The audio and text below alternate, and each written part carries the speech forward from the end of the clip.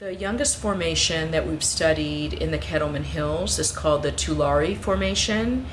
and the zone that we've described is called the Amnicola Zone, and it's named for a very small uh, species of gastropod that you can barely see with the unaided eye. But when we find it in the Amnicola Zone, it's usually in these sandy units where it's just chocked full of the shell of that gastropod, of that snail, Amnicola, and it'll have other things as well, uh, other fossils within the sand, um, including small bivalves, along with the gastropods.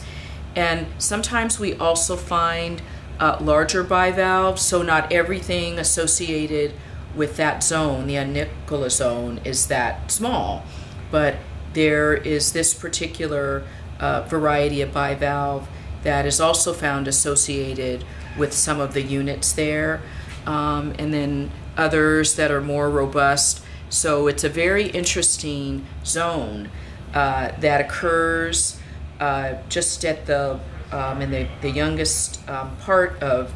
this geological area. And um, in addition to those small snails and uh, these larger bivalves. You also find uh, horizons with rock exposed where there's no shells left um, in the, the rock at all, um, uh, no shelly material, but what we see are molds. So all these little circular U-shaped lines that you see uh, in this particular rock, which is a limestone,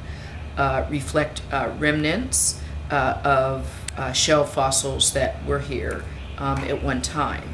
So when we examine fossils associated uh, with a zone, uh, we're typically looking at a variety of fossils that are found together. So when this area